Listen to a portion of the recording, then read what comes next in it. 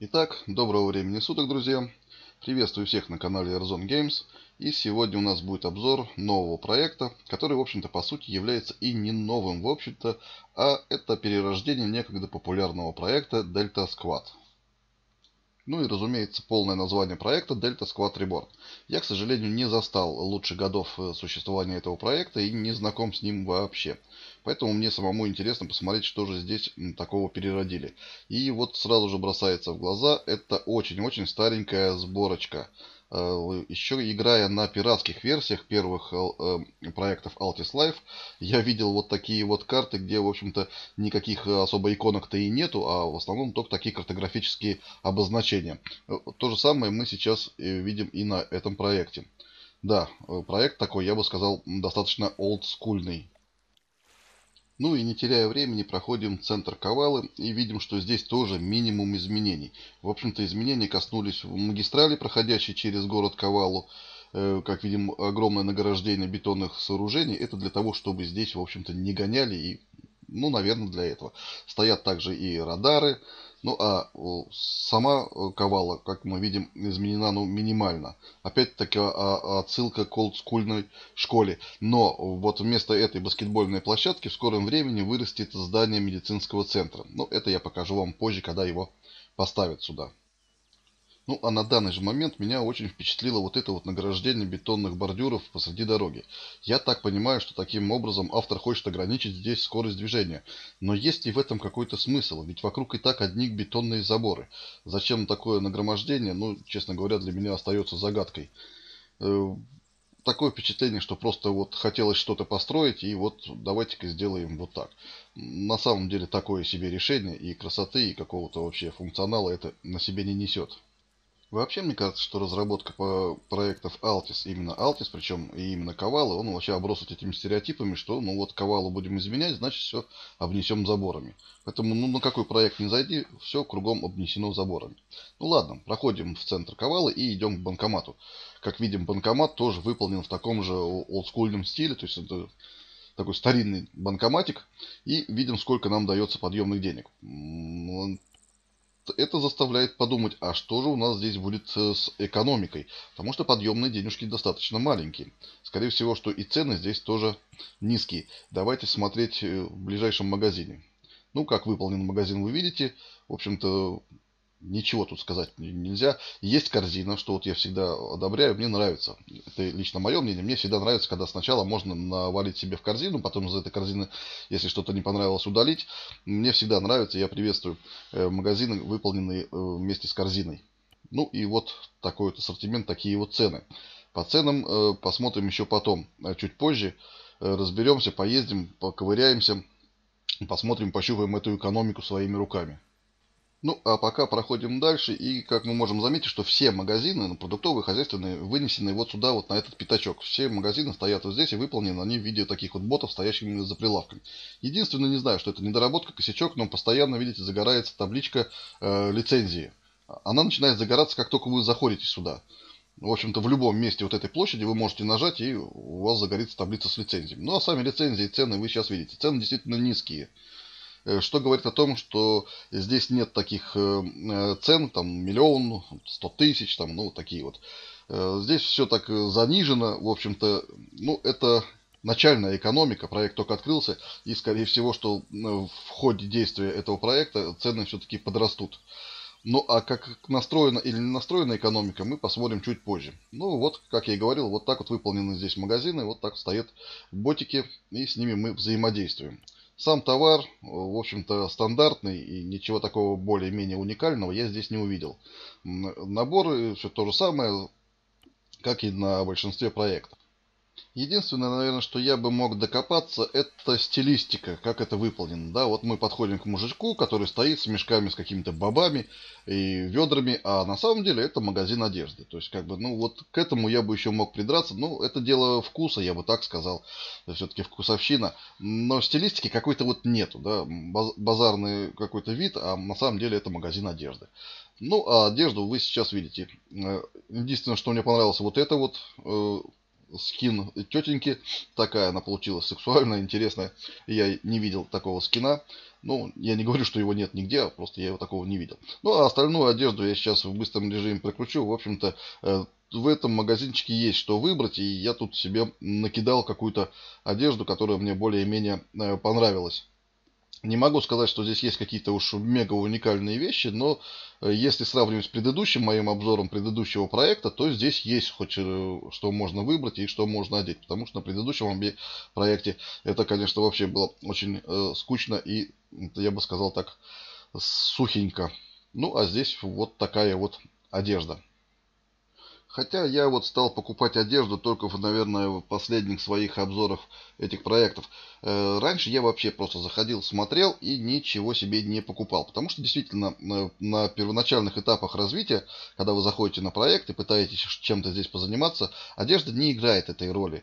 Э, да, в дальнейшем уже, когда у вас появится какой-то жирок, у вас будет какая-то денежка, там можно уже будет пойти в магазин, поковыряться, э, посмотреть себе какую-то одежду, может быть там для работы, а может быть там для бандитизма, какие-то маски уникальные там, ну и что-то. Но на начальных этапах это абсолютно не обязательно. Я бы даже сказал больше, нет смысла тратить э, изначально деньги, не зная самой экономики. Ну, я вот уже начал придуриваться, то я бы так сказал, э, напяливать на себя какие-то вещи, тратить этим деньги, хотя уже неоднократно попадал в такие ситуации, когда потратил деньги на одежду, поехал там, например, я, у меня был случай, я поехал покупать, ой, ковырять, вернее, э, персики, по-моему, или яблоки, а у меня не хватило денег даже на тяпку. Э, там была механика сбора яблок тяпкой, тоже, кстати, такое себе занятие, но вот у меня не хватило денег на тяпку, потому что зашел в магазин и купил себе какого-то бесполезного, в общем-то, шматья.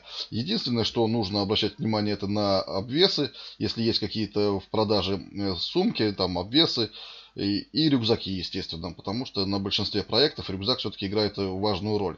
Э, кстати, на, надо сказать, что вот на предыдущем проекте, который я обозревал, в котором было мало одежды, да, вот про тот, который я говорил, вот там рюкзак вообще игроку был не нужен. И это тоже, кстати, уникальная штука. На, на самом деле, уже вот играя на этих проектах, поднадоели эти рюкзачки, сумочки, и мне было интересно, когда я зашел на проект, а рюкзак там абсолютно не нужен. Ну и, в общем-то, ладно. Э, посмотрели одежду, кое-что себе прикупили. Давайте обратимся к карте. Карта здесь, э, ну, она не уникальная, но она какая-то своеобразная. Она действительно доисторическая такая вот, э, начиная с первых проектов, когда еще только карты начинали делать, рисовать, там придумывать иконки. Как видите, здесь, я бы даже сказал, иконок-то и ну, практически нету. Больше картографические обозначения, квадратики, треугольнички, кружочки. Э, карта читается сложно. Скажу сразу, сложно, непривычно.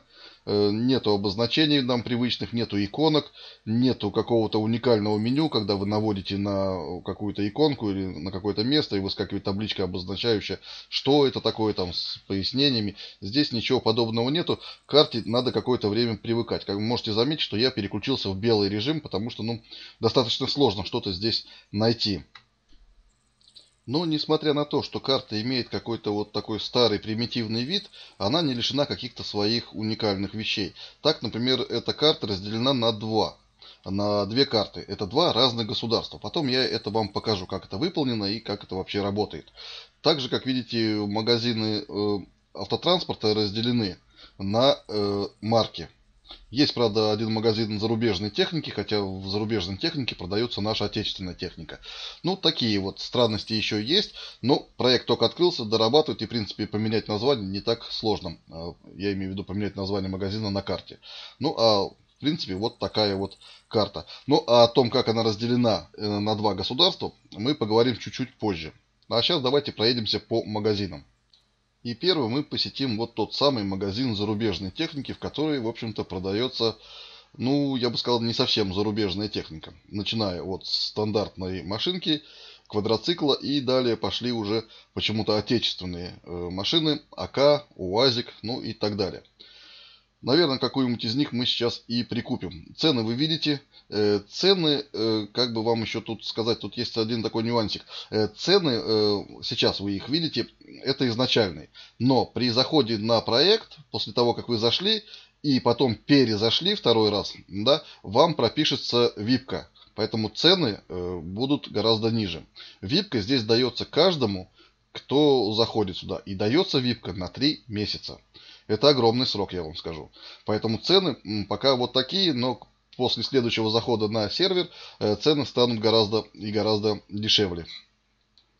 Ну, а что касаемо магазина зарубежной техники, я так думаю, что здесь выдержана стилистика какой-то американской, может быть, жизни, и поэтому наша отечественная техника для этого проекта как бы считается иностранной. Наверное, вот поэтому она называется магазин иностранной техники. Ну, а мы, наверное, прикупим себе какую-нибудь машинку, но машинка нам до, пока еще только доступна. Вот такая вот акулька.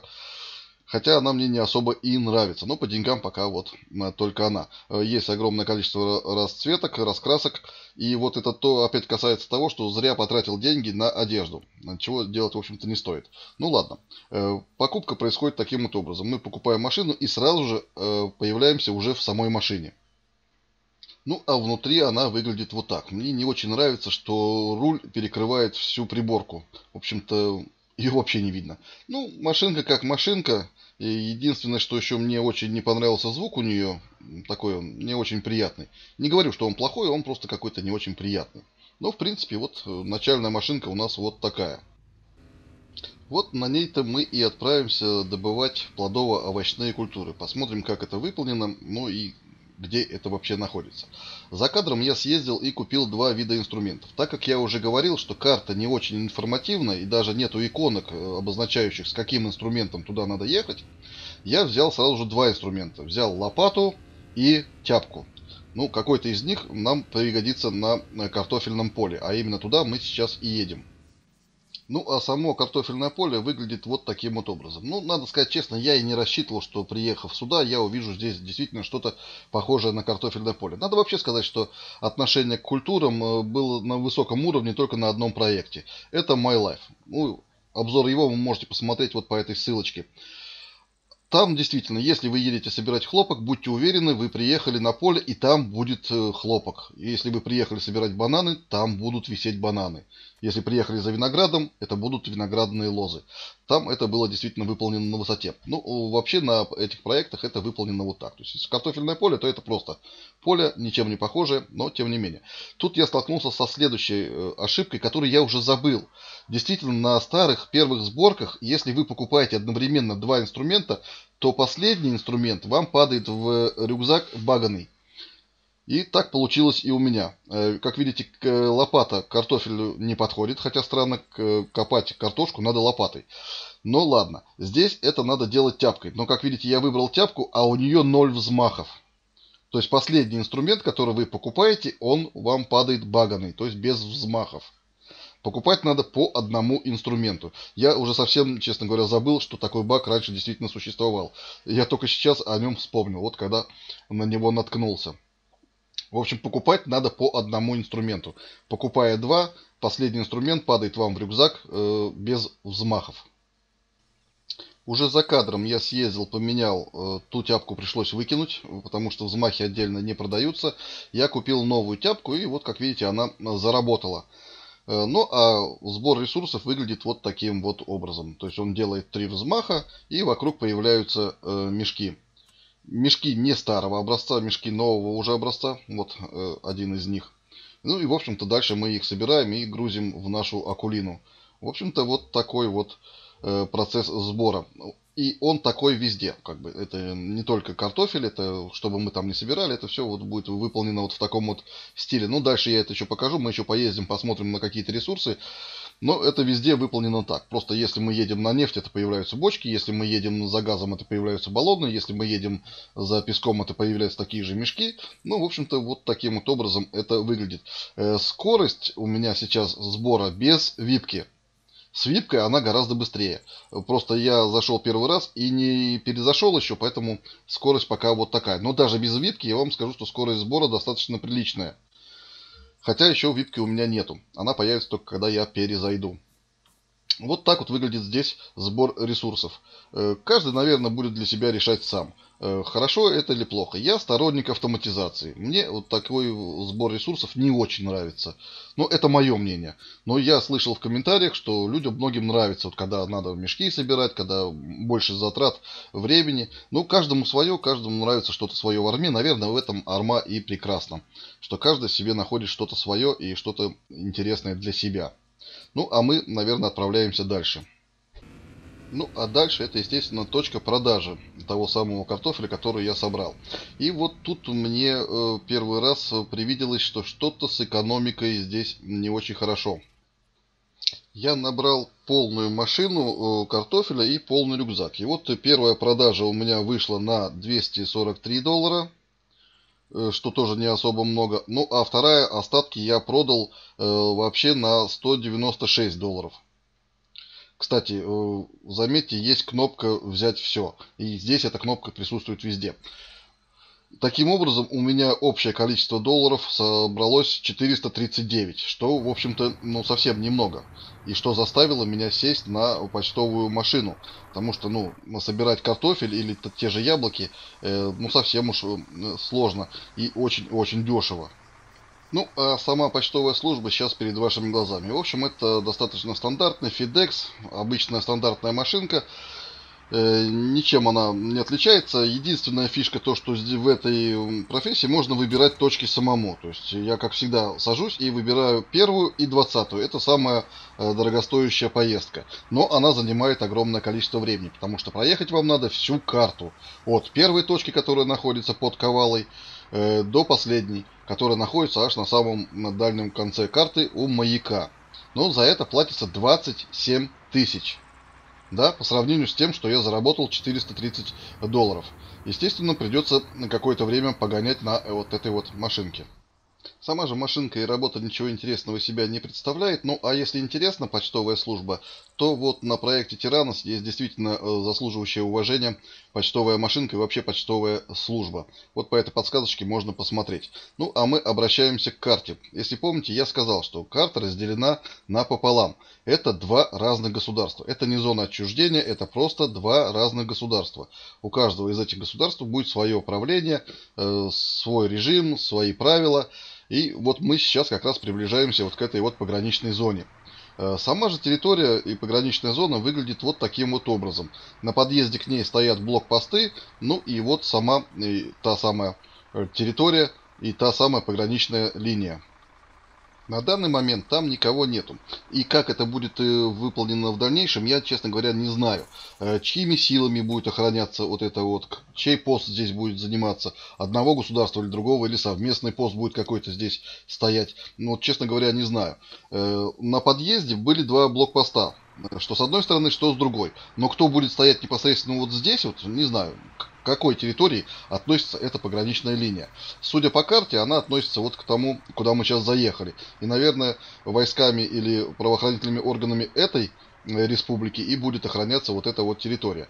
Забор тянется от одного моря до другого. Э, переехать как-то или перейти невозможно. Можно только по э, проехать сюда, вернее не проехать, а пройти пешком вплавь, а плыть эту стену. На машине сюда не проедешь. Также не обошлось, конечно же, и э, без полицейского управления, стоящего прямо на трассе. Но в этом случае я не могу сказать, что это памятник анахронизму с высокими заборами, с вышками бесполезными. Как видите, все выглядит достаточно граждански, мирно. Э, нету никаких заборов с колючей проволокой. Э, проезд всегда открыт. Хоть нету на проекте сейчас ни одного полицейского, как вы видите, шлагбаум открыт и проезд всегда свободен. В общем-то, здесь э, тоже особо претензий никаких и нету. Выполнено все достаточно красиво и аккуратненько. В таком гражданском, я бы сказал, стиле. Ну, а днем эта пограничная территория выглядит вот таким вот образом. Ну и поэтому, наверное, можно понять, что погонять на этой почтовой машинке мне пришлось через эту границу, ну, не один раз, если честно. Потому что на тот момент другого способа заработать я здесь не увидел. Ну, э, к этому мы вернемся чуть-чуть позже. А пока давайте пройдемся по магазинам, э, которые находятся в городе Кавала. И все магазины автотранспорта распределены здесь по маркам. Например, вот этот магазин принадлежит марке Chevrolet. И здесь представлены, естественно, все э, модели, ну не все модели, а какие-то автомобили этой марки. Э, то, что отмечено красным крестиком, это VIP. Но я должен повторить, что VIP-ку вам дают здесь после того, как вы перезайдете в игру на 3 месяца. Поэтому и цены, и VIP у вас будут доступны. Ну, а сам ассортимент вы сейчас видите. Он не очень богатый.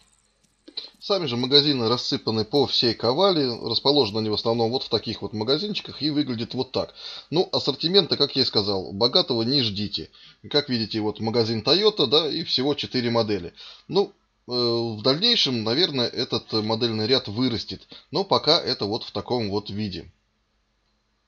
В принципе, сами машинки, ну, достаточно неплохие, добавлено, нет какого-то там а, совсем хламья. Машинки есть из чего выбрать, но придется побегать по ковале э, в поисках нужной вам модели. Вот, например, магазин компании Dodge. И здесь достаточно большой выбор по сравнению со всеми остальными. Если вы поклонник эм, автомобилей Dodge, то здесь вы найдете для себя что-то интересненькое. Э, и, в общем-то, вот примерно такой ассортимент и во всех остальных магазинах. По всем мы, наверное, не будем бегать. Ну, в общем-то, наверное, принцип вы понимаете, да, что магазины разбиты по всей, по маркам и разбросаны по всей Ковали. Единственное, что не хватает э, здесь же в Ковали магазина грузовой техники. Он почему-то вынесен э, за город. Пилить до магазина э, грузовой техники, ну, достаточно прилично. Он находится, не доезжая ДП-11. Ну, наверное, вы, кто играет, узнаете это место. Вот здесь вот стоит магазин грузовой техники. Обычно магазин на грузовой технике ставится под ковал, и там недалеко от меди. Ну, вот здесь решили это обыграть вот таким вот образом. Ну, а вот сам магазин. В общем-то, исполнение все тоже, э, в том же стиле. Но транспорт, который здесь представлен, вы сейчас видите. Ну и цены, естественно, на этот транспорт вы э, сейчас можете наблюдать. Чего-то более-менее уникального такого я здесь не нашел. В общем-то, представлены такие достаточно стандартные машинки – и мне, например, приглянулся Кразик, э, нефтевоз, вот я, наверное, на нем потом остановлю свое внимание. Э, приглянулся просто потому, чтобы попробовать пофармить что-то, поэтому, наверное, на нем мы и остановимся. Но на данный момент у меня нету такого количества денег, поэтому я заехал сюда просто посмотреть. Ну и заодно показать вам, какой транспорт здесь представлен. Как видите, снизу еще, пока у меня еще горят закрытые машины, те, что принадлежат обладателям випки. Но в дальнейшем они у меня откроются. Ну, а вот такой вот кразик нефтевоз я, наверное, себе потом прикуплю. Вот эти вот машины э, мне не нравятся вообще внешне. Вот э, Какие-то они слишком огромные, ну и некрасивые. Ну, вот, в общем-то, и весь список э, транспорта, который представлен на этом проекте. Плавно переходим к летной технике этого проекта. Летный магазин находится стандартно в аэропорту. Ну, а то, что представлено здесь в магазине, вы сейчас видите. Тоже не особо, я бы сказал, большой список летной техники. Самолетов нету вообще. Есть только вертолеты. Ну, зато есть мой любимый Махавк. Цены тоже еще пока э, без випки с випкой эти цены станут гораздо меньше. Ну и весь э, список сейчас перед вашими глазами. Как видите, э, вертолеты еще и обладают и э, какой-то вместительностью багажника. То есть как бы на них еще можно будет и фармить. И эти нижние вертолеты так вообще ну, с очень приличным багажником, я бы так сказал. Ну вот такая вот летная техника этого проекта. Ну, а я же далее, как и обещал, заработал еще немножко денежков и купил себе вот этого вот кразика нефтевоза. Но не для того, чтобы возить нефть, потому что я ее на, в списке вообще не нашел. Нефть на карте есть, но в списке продаж ее нету. То есть понять, сколько стоит нефть и есть ли смысл ехать и ей заниматься, абсолютно нету. То есть э, цены на нефть нету. И, и самой нефти в списке э, губернаторский э, в планшете э, вообще отсутствует. Посему я принял решение, что поеду заниматься газом. Э, газ в списке есть, он не самый дешевый, ну и не самый дорогой из ресурсов, представленных этого проекта. Но для того, чтобы понять, какова здесь экономика и есть ли смысл этим заниматься, газ э, как нельзя лучше подойдет для того, чтобы поехать его и пофармить. И чтобы понять, сколько можно заработать, есть ли в этом смысл, ну и тому подобное. Поэтому я и выдвигаюсь в сторону газа. Здравствуйте. Здоров будь. Как у вас дела? Потихоньку, болезнь какая-то меня преследует. Что-что? Какая-то болезнь меня преследует. Болезнь. Да, я вижу, вы в крови. Вы можете выйти из машины? Я вам, может, чем-то помогу. Сейчас, подождите. А что с вами случилось? Не знаю, лихорадка, эбола, наверное. Эбола? Да не, Приехал. на эбола не похоже. Так лучше, А, да? это, это лихорадка эбола не похожа, а ебола, она вот так выглядит. Не знаю, зашел вот сейчас я что-то раз и что-то со мной случилось, не знаю. Ну, вот. то есть вы никуда не ударялись, нигде не не, не, не, вгрызались? не, вот так, так получилось, что больной А вы кушали, пили, соблюдали диету? Ну, диету-то нет, там сосиски трескаю пе- периодически. А, ну, главное, хорошо, да, калории получаете, это уже... Да, да. Вот э, взял машинку, нафармить мне все-таки удалось за 5 дней. А что делать теперь, не знаю, что на ней надо делать? На машинке, это газовая машинка, на ней можно либо газ добывать, либо нефть. Вот, я вот на газ-то, в общем-то, и рассчитывал, потому что что-то с нефти вообще не нашел. То есть залежь нефти нашел, а вот сколько она стоит, в планшете вообще ее нету, ее, ну, как бы отсутствует. Я испугался, М. не стал ей заниматься, потому что ее нет в планшете просто. А кого, вот кого, газа? Нефти нету. Нефти в планшете Нефти? нету. Да, Так. ее там нету. А посмотрите. Да, да, вы не торопитесь никуда. Нет, я уже все, уже выздоровел. Сейчас посмотрим. Даже упал. Вот так. Не должно быть, сейчас Я посмотрим. три раза смотрел, может я слепой, конечно, посмотреть.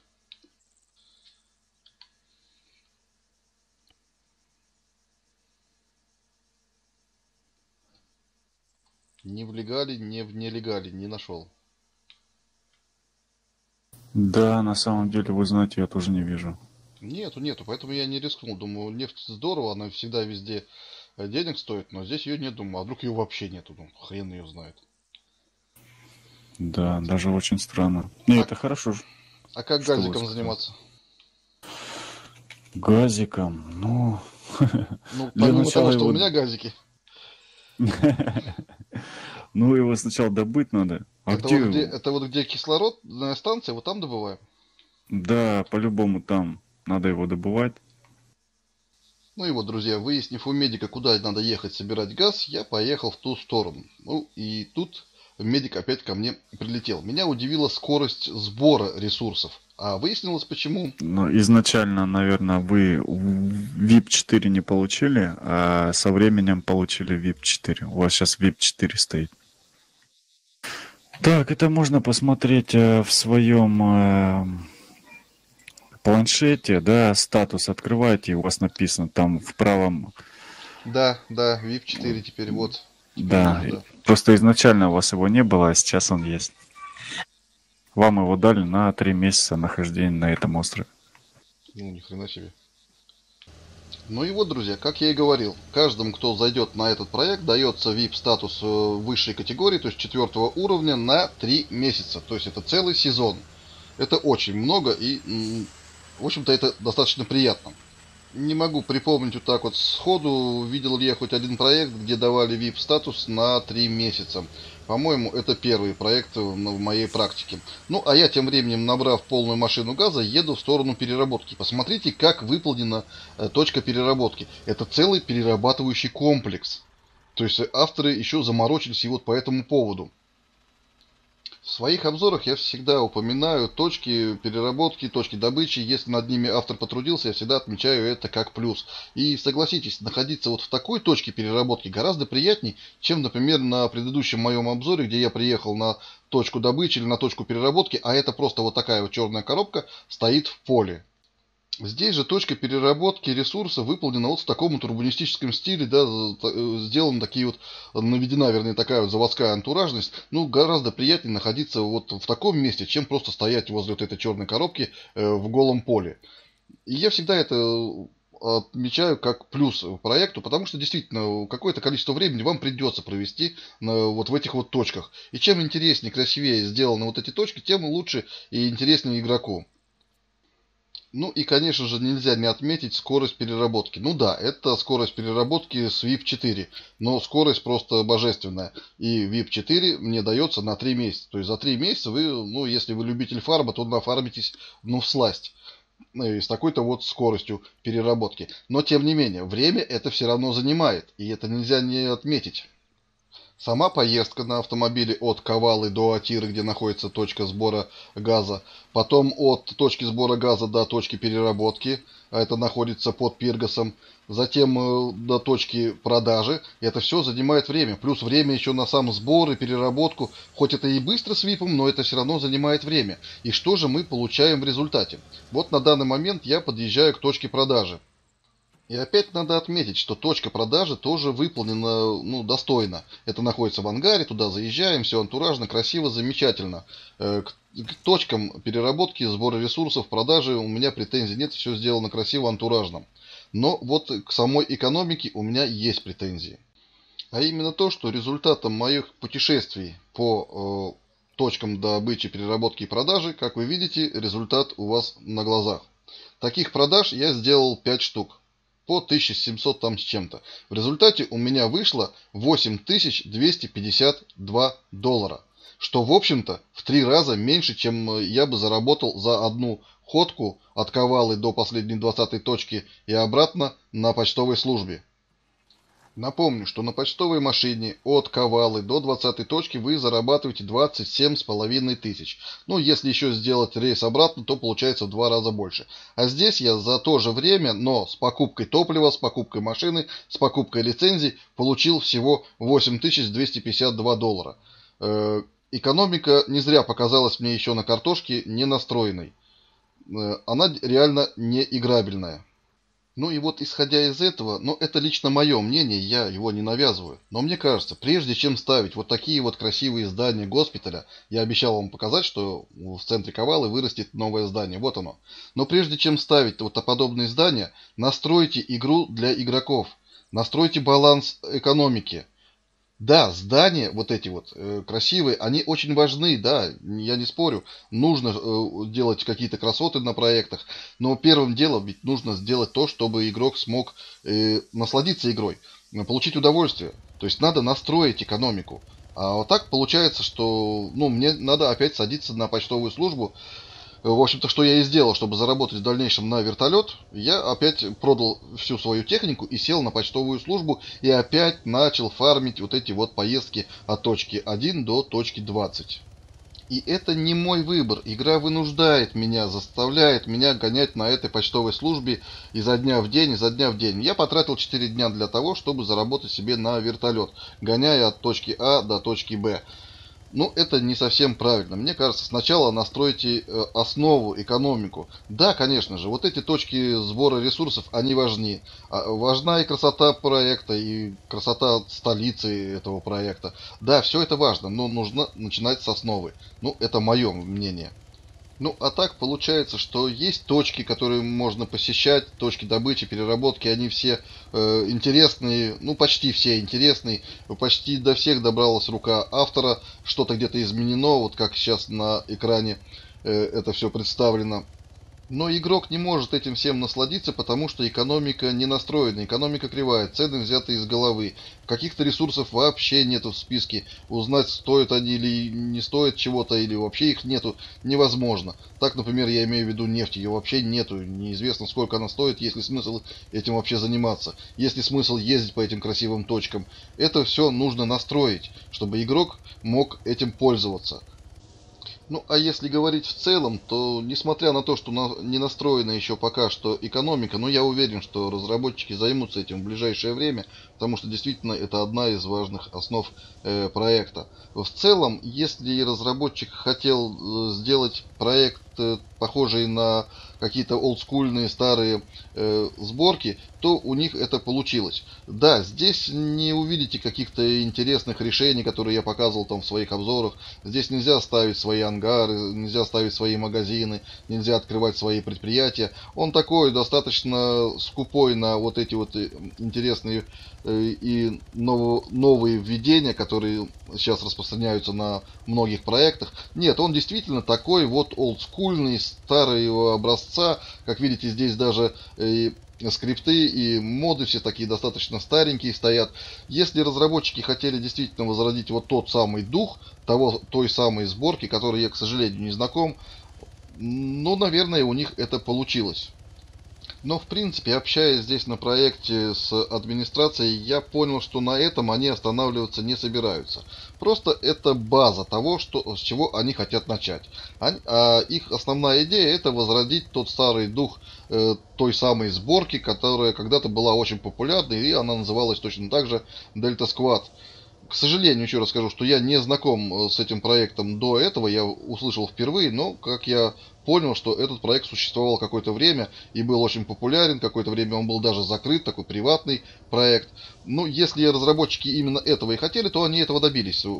Проект, в общем-то, играбельный, э, осталось только поднастроить какие-то вещи и вывести его, ну, такой на играбельный уровень. И, в принципе, это такой, да, э, старый олдскульный проект, на котором нет ничего лишнего, и, в общем-то, администрация достаточно э, бодро и хорошо отзывается на какие-то пожелания игроков, вы, в общем-то, можете зайти в группу, написать, э, пообщаться, адекватные люди, и э, вас выслушают и, может быть, даже прислушаются. Ну, в общем, вот такой вот у меня получился обзор этого проекта, такой вот проект, я бы сказал, наверное, ну, может быть, на любителя, не знаю. Э, ну, мне он понравился. Он такой, да, он сухой, он скупой на какие-то фишки, но он э, берет чем-то другим. Не знаю, как это объяснить, но он вот берет каким-то таким своим духом, что ли. Может быть, действительно, вот этой стариной, веянием старины такой, не знаю чем. Ну, вот такой вот у меня получился проект. Э, сложно как-то его оценить или что-то про него еще говорить. Если кому-то понравилось, заходите, играйте проект в онлайне, проект открыт. Он ждет своих игроков. Заходите, получайте удовольствие, наслаждайтесь игрой. Ну, а у меня на этом все. Спасибо всем, кто посмотрел, и всего вам доброго.